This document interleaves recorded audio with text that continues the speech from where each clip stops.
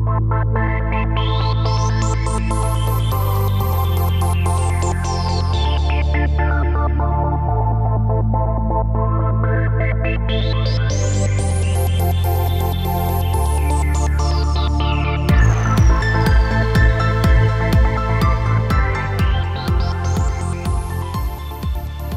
is a Seeking Delphi special edition.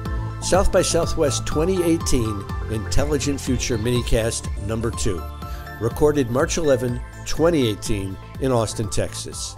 I'm Mark Sackler. The future lives here. One step beyond the questions of machine intelligence are the questions of machine consciousness. Can we create it? Should we create it? How should we treat it? As anyone who has watched the popular HBO series Westworld knows, these questions go beyond the technical and ethical and enter into the realm of the existential. My focus today is on a single session held in the Intelligent Future Interactive Track at South by Southwest. Can we create consciousness in a machine? Its title belied a much deeper, even philosophical theme. Appropriately, the panel included two philosophers. We hear from them both now.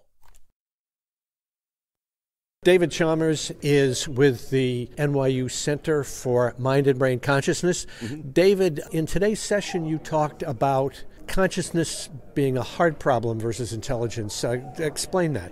Well, intelligence, as I understand it, is all about behavior sophisticated, goal directed behavior. You want to drive your car across town, well, you need to um, know how to navigate, you need to know where to go, you need to drive the car.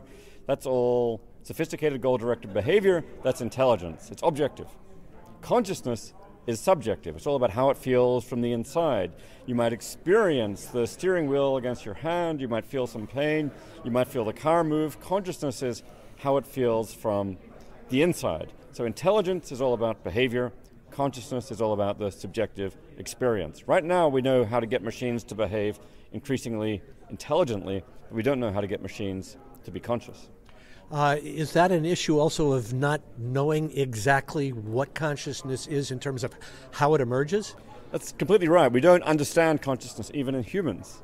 We know that humans are conscious, we know that humans are intelligent too, but we've got theories of how humans can exhibit intelligent behavior. We have no really good theories of how and why it is that humans have subjective experience. There's some very tentative and speculative theories out there, but the reason we call this the hard problem is we just don't right now have a grip on what it would be to have a theory of consciousness.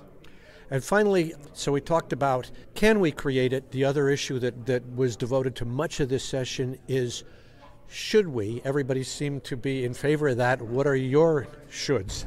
Well, I think it's a complicated ethical question. I mean, once we create machines that are conscious, we have to worry about how we treat them. Once they're conscious, they can suffer. Um, once you've created conscious machines, they'll be like humans and they'll be admitted into our circle of moral concern. So, in some ways, it'd be a lot easier if we could create artificial intelligence. I mean, just say all of our self driving cars to be the best self driving cars they are, they're conscious. Then we've got to worry if we're mistreating them by making them drive around town all the time. Much better create, to create self driving cars that are not conscious, and then we can just treat them as tools that serve our purposes. There seem to be arguments for why we should make them conscious. Uh, what were yours? Well, I just think probably we're going to want to create increasingly intelligent artificial systems in order to do more and more sophisticated things. And I think as they become increasingly intelligent, they're going to get more and more complex. They're going to involve mechanisms like the mechanisms we have in a human brain. They will probably become conscious. It may be impossible to have a super intelligent artificial intelligence without consciousness. So then we're going to be stuck with those hard questions. Susan Schneider is with the Department of Cognitive Sciences at the University of Connecticut. Susan, in today's program, you had a kind of a list of three things that you said are part of the steps to creating and identifying consciousness in a machine. Could you recount those briefly? Well, I think you need to run tests, and I'm interested in particular on in three tests. So, a first test would be what I call the ACT test, where you look for behavioral indications that the machine understands thought experiments involving consciousness. So, you know, notice that most of us can understand the idea of reincarnation, out of body experiences, or the famous hard problem of consciousness. Um, if a machine starts to show interest and understanding of these problems, that would be one indication of consciousness. There are others, though. There are two other tests. So, one um, Christoph Koch talked about today involving the information integration theory, um, in which you look for causal integration at a suitable level for um, the kind of sophisticated consciousness that you would expect in sentient beings. Another is a chip test, and you can view my TED Talk uh, to see more about that.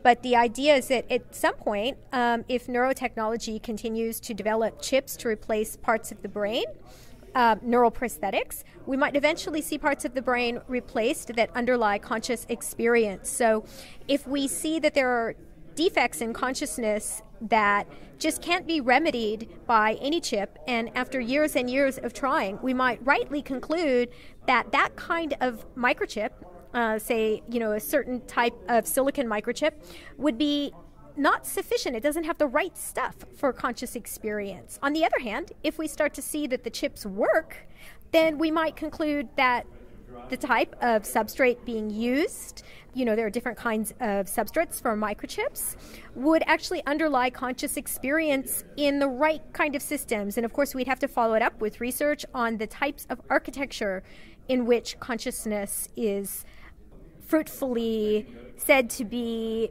present.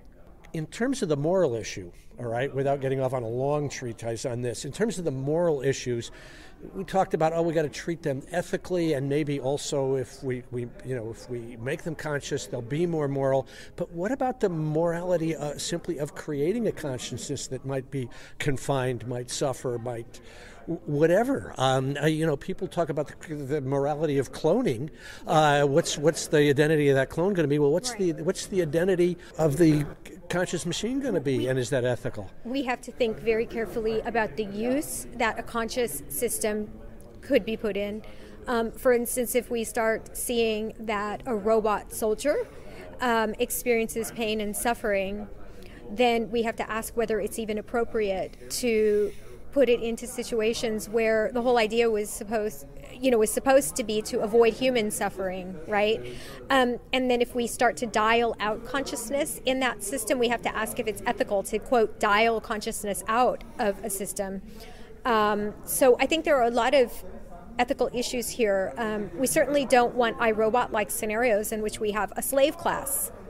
Um, it would be bad for us and it would be bad for them one final question here, and this is the one thing, and every time I think I've heard the last question about this, I think of another one, and that one is you know, emotion AI is big now. Um, creating machines that can, uh, autonomous yeah. systems that recognize emotion, systems that can emulate it. Eventually, maybe they're going to feel it. Right. But in terms of being able to feel it, which is part of consciousness, there's one thing in the human experience that nothing in I don't think in silicon is going to have. That It's certainly going to be hard to recreate, and that's the visceral experience of emotion. What, how does that come into play?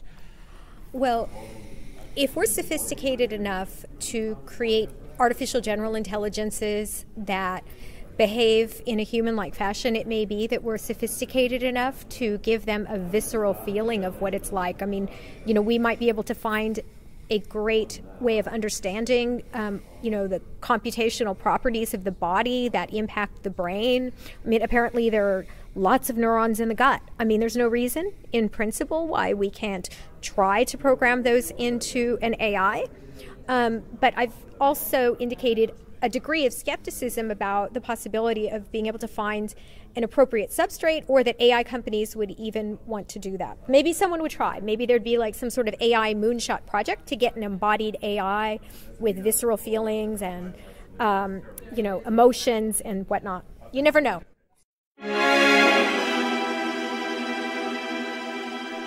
As to the question of how long it might be before we create a conscious machine, David Chalmers was the most optimistic, saying perhaps within 20 years.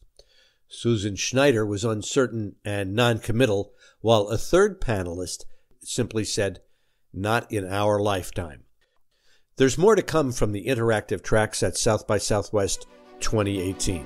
My thanks to Interprose and IEEE for arranging today's interviews, as well as many others. Until next time, I'm Mark Sackler.